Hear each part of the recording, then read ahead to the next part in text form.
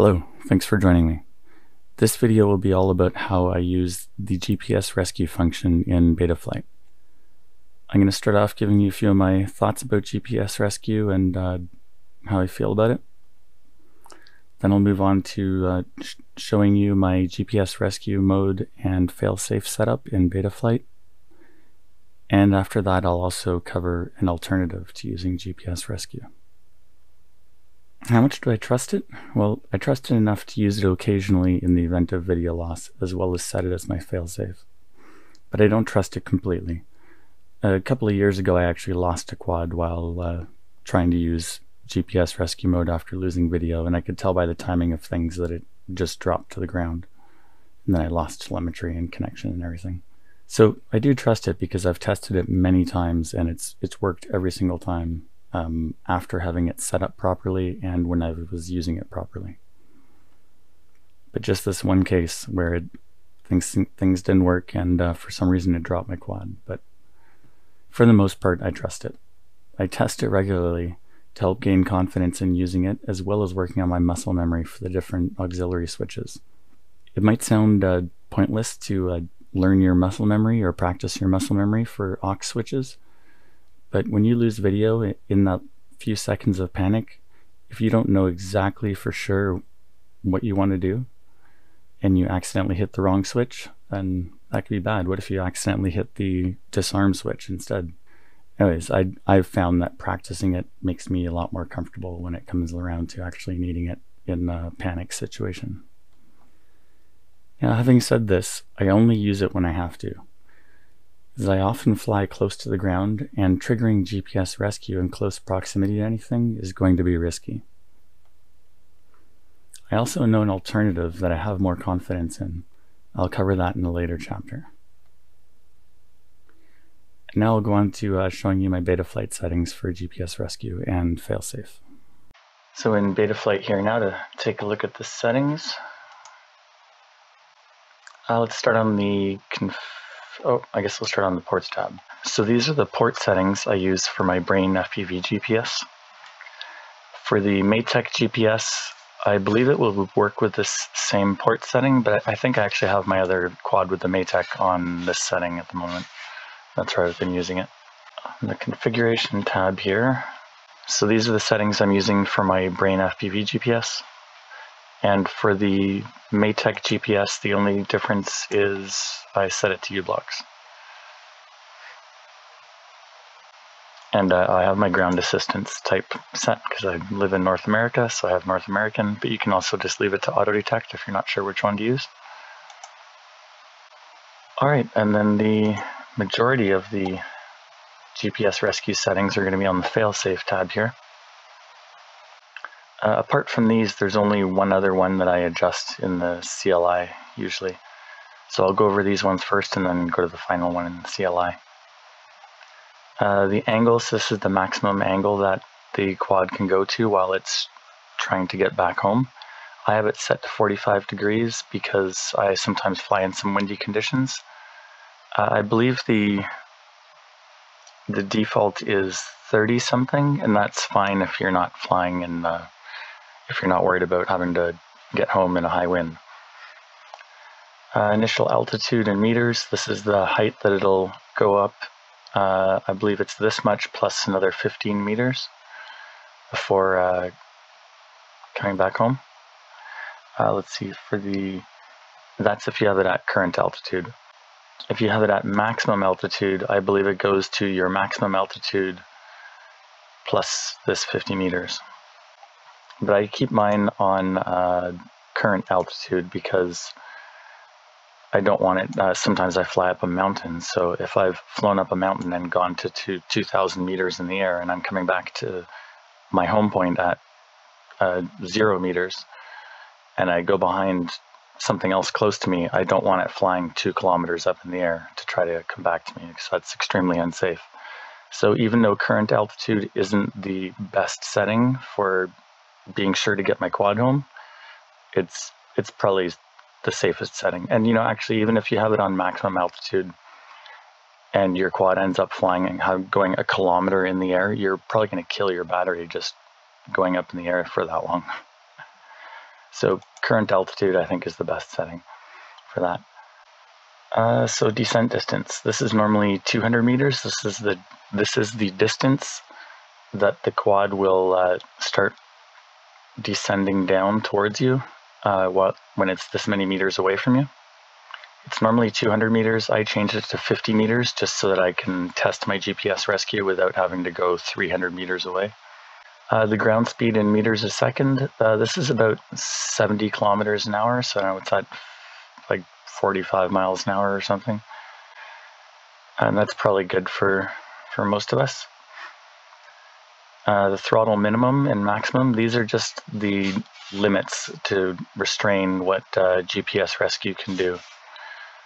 So it's not going to automatically go to the maximum and minimum throttles. It's just during its uh, PID calculations for the for what to do. Um, it's going to not exceed these. Uh, the throttle hover, I have mine set to 1300 because that's uh, around about the point that my quad hovers at through a majority of the battery. And now the ascend rate, I believe it's normally five, five meters a second. And I've put mine to 10 meters a second because I want my quad to get up in the air quick rather than uh, sort of continuing coasting forward. I want it to just level out and give throttle to go straight up right away. And the descend rate is in meters per second, how quickly it's going to come towards the ground when it's coming back.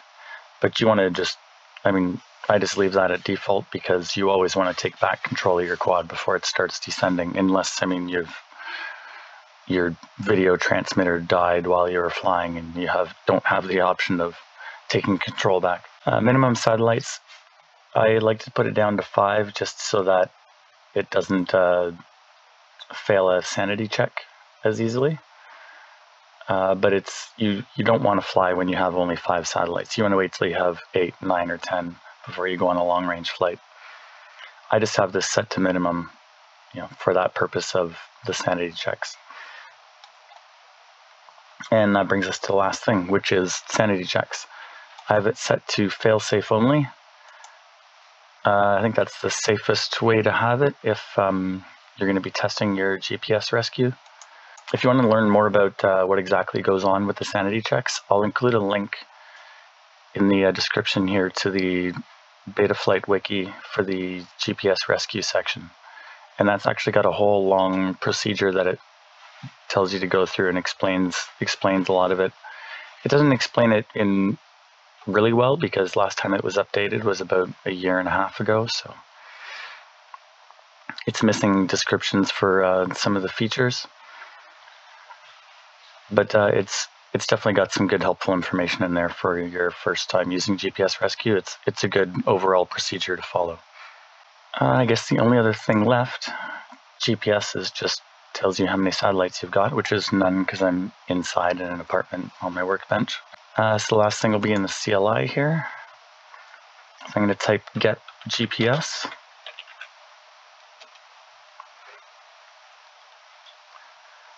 And most of these you're going to find, uh, most of the ones you need to use are in the failsafe settings.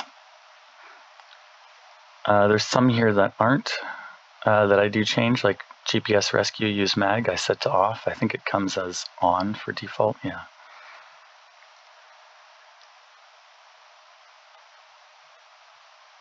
Um, the only other thing here that I change is the GPS rescue yaw P.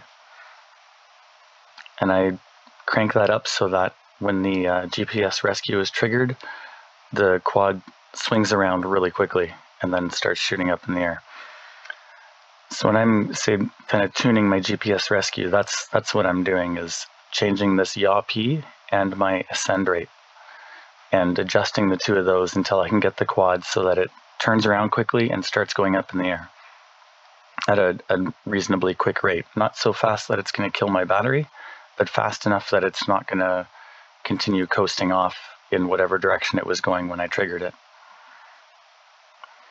Uh, in my case, I'm hoping to say I'm near some trees, I want it to turn around and start flying up in the air before it ends up coasting forward into those trees or sideways into the trees.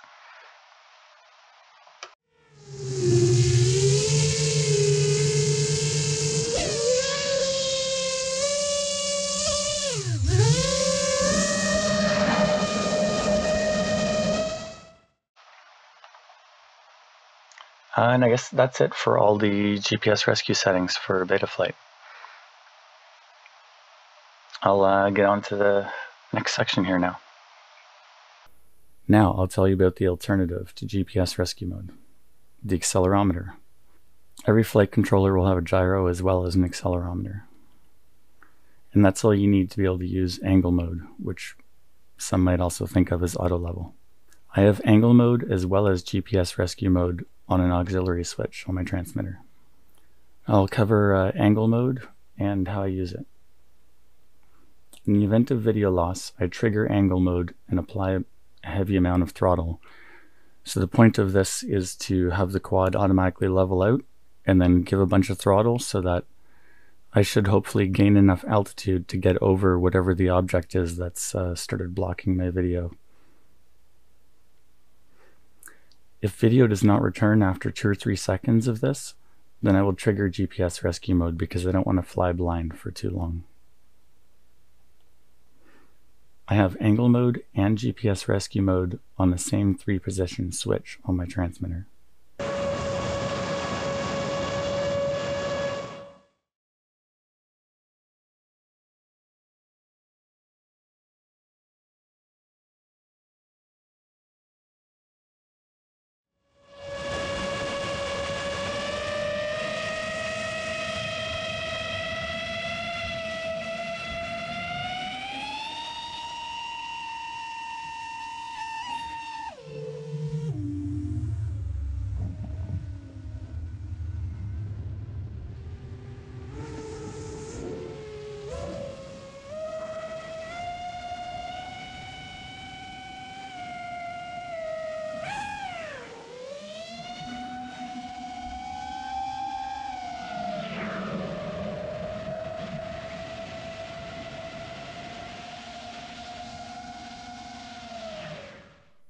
Okay, let's go over the aux switch setup for the transmitter.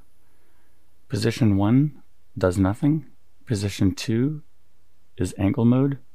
Position 3 is angle mode as well as GPS rescue mode. Now let's take a look at how to do that switch setup in the Betaflight Modes tab.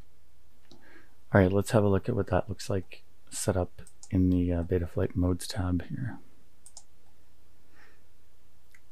So I'm using aux3 for this. The first position of the switch does nothing. Then the second and third position for the switch both engage angle mode. And then GPS rescue is only on for the third position of the switch. So when I'm in the first position, it's only angle mode. And when I go to the second position, it's angle mode and GPS rescue mode. Then when I switch out of GPS rescue, it goes into angle mode, which also helps for stability because GPS rescue is going to be in its own angle mode as well. And then switching back to angle mode lets me kind of regain control of the quad but still be in angle mode and then I can switch out completely and take back full control of the quad. Losing video can be very disorienting.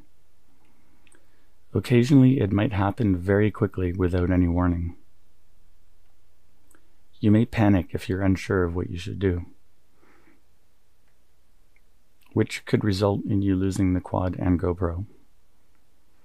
That's why it's important to learn all about your GPS rescue mode, test a lot, and practice engaging it with the aux switch so you get a feel for what it's going to do, and also practice just hitting the auto level or um, angle mode and then giving it some throttle just to learn what your quad's going to feel like and how it's going to respond when you try to do this.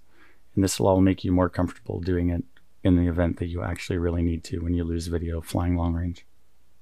Well, that's it for this video. Thanks for watching, and I'll see you on the next one.